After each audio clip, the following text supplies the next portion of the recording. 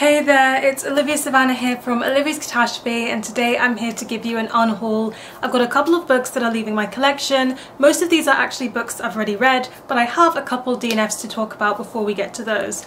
So without further ado, let's get right down to the books that will be leaving my shelf.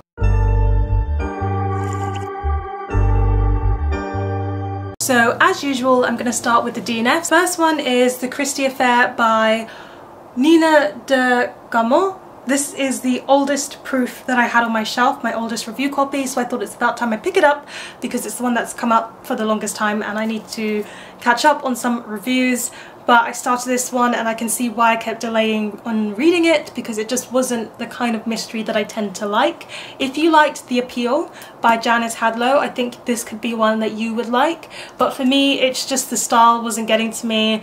I read enough that I could get the characters that were going to be the main characters, I didn't really care about them or like them, and even though this is about Agatha Christie's missing period, I don't feel like it's very aligned with Agatha Christie, like how she would act or her style at all. So I was kind of hooked into this one from the Agatha Christie hook, but when I started reading it, I could tell it was very much not going to be the Agatha Christie vibes I was looking for. So I decided it's time to let it go and DNF it. I also read a good hundred pages of And Break the Pretty Kings by Lena Jeong. This is a young adult Korean inspired fantasy book. It's big, it's a beautiful hardcover, and it read like every single young adult fantasy I've read before.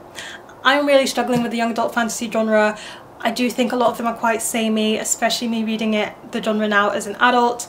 This just fell into it being the same kind of thing again and I just don't need that in my life right now such a shame because it's so beautiful and I have been trying to read fantasy that's from different cultures because I think that's where I can find a lot of uniqueness to the stories that I've been told multiple times before but this unfortunately wasn't what I was looking for. So I've also been every now and again getting to the oldest books on my TBR that I haven't read before and Killing It by Asia Mackay was one of the oldest that I had.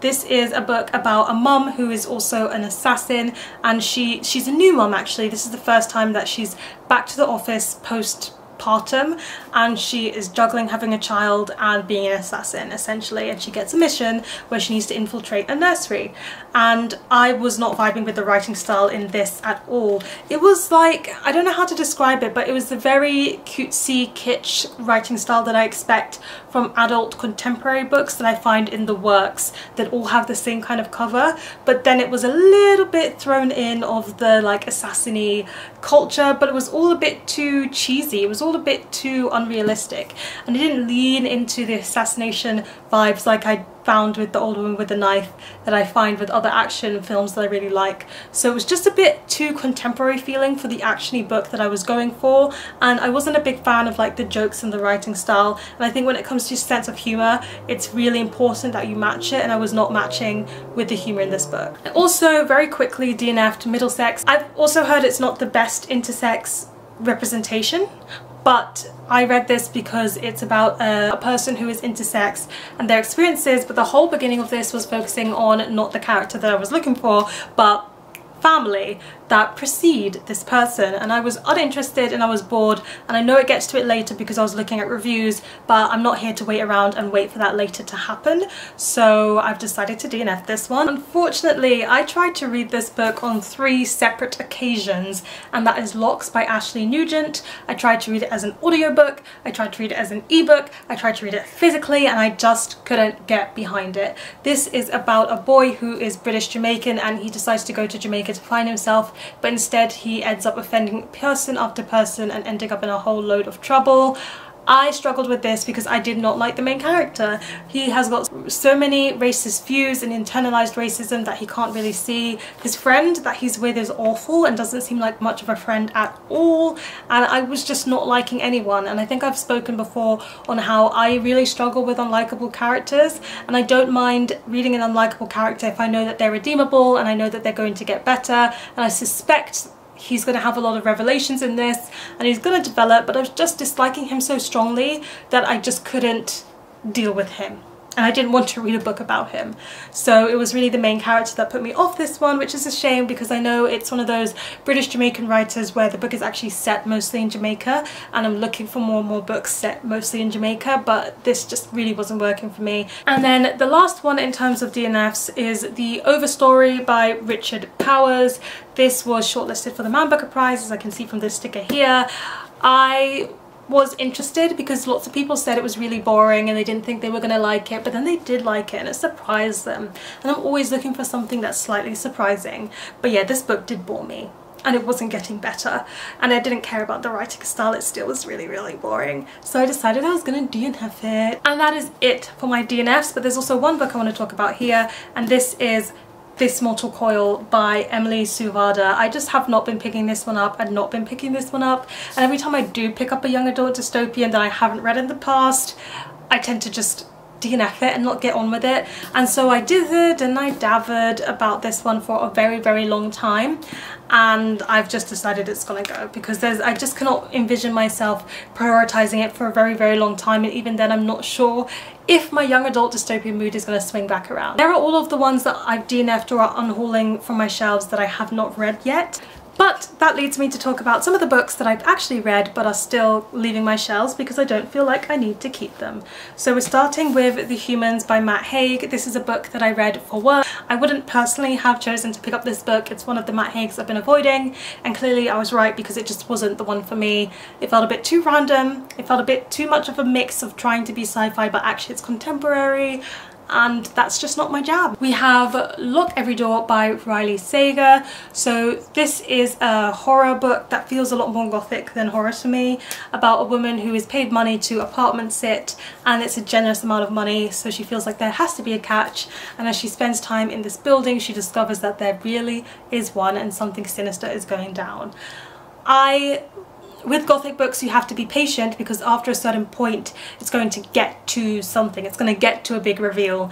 And it got to that reveal and I wasn't invested in that reveal and I didn't think it was worth waiting for. So while I finished out the book, I just didn't love it and I don't think I need to keep it. Nothing But the Truth by The Secret Barrister. This was just a case of I didn't really need to read this book.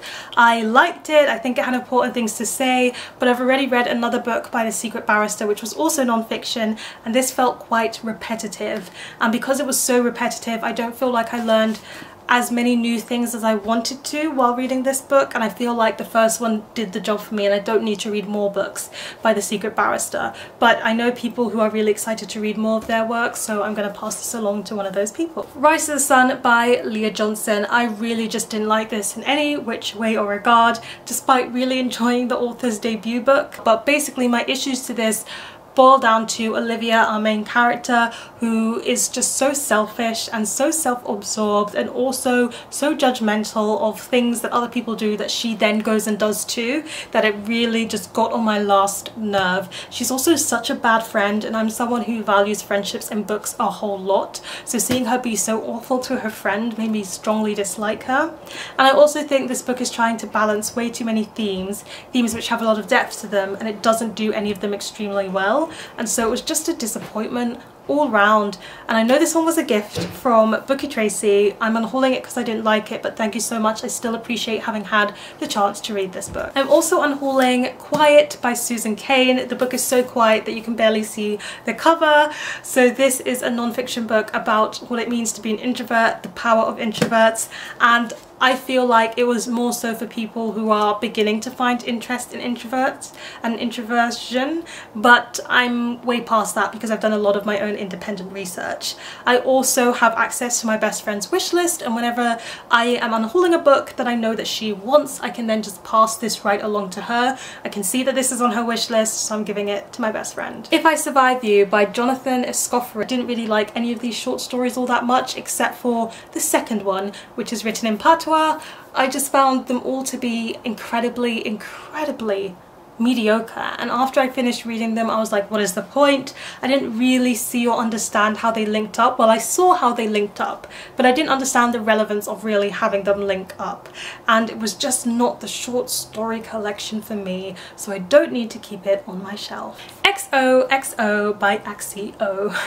I will never get tired of saying the title and then the author's name because it just sounds so good altogether but this is a young adult book where a teenager falls for a K-pop star and it was a good time. I liked this one, I enjoyed reading it. I don't feel like it was the most realistic handling of how it would go if someone decided to date a K-pop star, but sometimes you just want to read something and be happy and enjoy it for its cutesy, romancy vibe. And I did that with this book and it served me well. So I'm happy I read it, but I'm going to pass it along to someone else. It also makes me super sad to let it go because it's so beautiful under the dust jacket. I love when they print the cover onto the dust jacket, but I'm not someone who will keep a book just because it looks beautiful. I, I will let it go. This one is a big chunker and that is my favourite thing is Monsters by Emil Ferris. This is a huge graphic novel that has murder mystery elements elements to it, grief elements to it, and also just really lovely illustrations. But having said that, it's not the art style that I personally prefer, and I don't think it balanced all the threads and storylines to it all that well. I feel like it was dealing with way too much and I would have liked if the narrative was fine-tuned a little bit more to focus on certain characters more than others. And while I don't think this is the one for me I read it because two of my friends my close friends really really loved this book. And I'm going to be passing it along to my younger sister Simone who also really appreciates a good graphic novel. I think she's going to like this one a lot more than I did. So the next two books I'm unhauling it kind of goes full circle because I received them from somebody else's unhaul and that is You Had Me at Hola and A Lot Like Adios by Alexis Daria. These are two romance books and I read this first one and I enjoyed it. I thought it was sweet, I thought it was cute, it didn't rock my world but it didn't necessarily need to. It had good enough steamy scenes and I really liked um, our main characters and some of the discussions they had about what it means to be a celebrity or Latin representation. It was all fun and games. It was all good. But then I read the sequel and this was just awful in every single way. I felt like the romance was so forced and contrived into situations that didn't make any sense. The motivations just did not add up. I also think our main characters didn't really have much romance or chemistry between them. It was more so physical interactions and that does not a good romance make to me.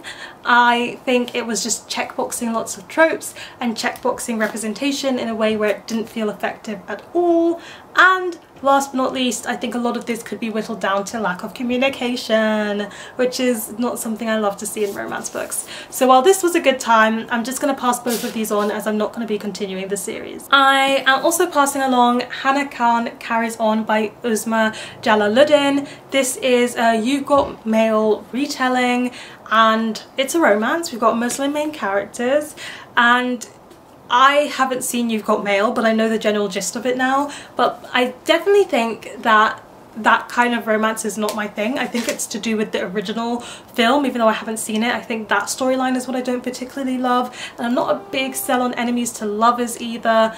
And I don't know, it just felt very, very predictable from day one that these people were who they were. And I was so frustrated that they didn't figure it out along the way. So there were good elements to this as well. It was sweet, it was lovely. It felt a bit like a young adult romance but they were adult character age was nice. I just don't feel like I need to keep it. I can pass this along to someone else. Sorry Bro by Taleen Voskuni is a contemporary romance book but also very contemporary identity focused and a lot of this has to do with Armenian culture and falling back into love with her Armenian culture from our main character. It's got bisexual representation in it as well and I really liked everything to do with the Armenian culture and heritage because I hadn't read a book with that kind of representation in it before. I hadn't known that much about Armenian culture before and I learned so much from reading this book. I also feel like it wasn't the best in terms of the romance department. I don't think our main character had that much chemistry with the person she ended up with and it felt a lot like the themes and the I search for identity overshadowed the romance where I prefer things to be a bit more balanced. I'm not sure if the bisexual romance representation or the bisexuality representation is the best. I can't speak on it, but I've read a few reviews around it and it made my discomfort with the representation click into place when I was reading some Own Voices reviews. But take that with a hint of salt and read this one yourself to figure out how you feel about it. I gave it a middling rating, but again, I don't really tend to keep middling rating books on my shelf. How Far We've Come by Joyce Efia Harmer. This is a young adult slave narrative book with time travel elements. It's like the young adult version of Kindred and what I liked about this is that it's written in patois. I haven't seen any young adult books written in patois before and I also think this one did a good job of not shying away from the slavery elements in it while it being a young adult friendly book. I think it did that very well but it's personal, it's just a personal thing. I'm pretty oversaturated on slave narratives and I don't feel like I need to keep reading more of them. I was sent this for review which is why I kind of pushed it up on my TBR and read it fairly quickly but it was a good time it just it's not a long time for me and it's not one I need to hold on to. And then last but not least I'm unhauling The Storm Swimmer by Clare Weze.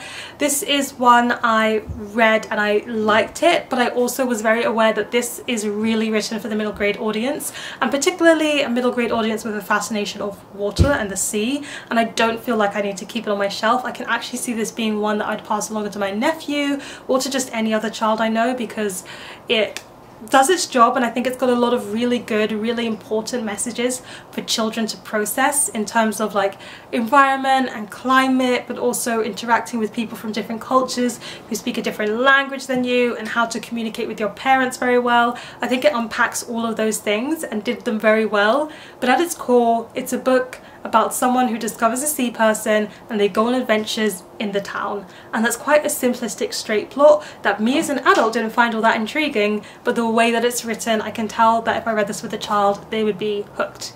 So I'm just letting it go from my shelf because it's not one that's really aimed and targeted for me. Not one that missed the mark, but one that hit the mark all too well.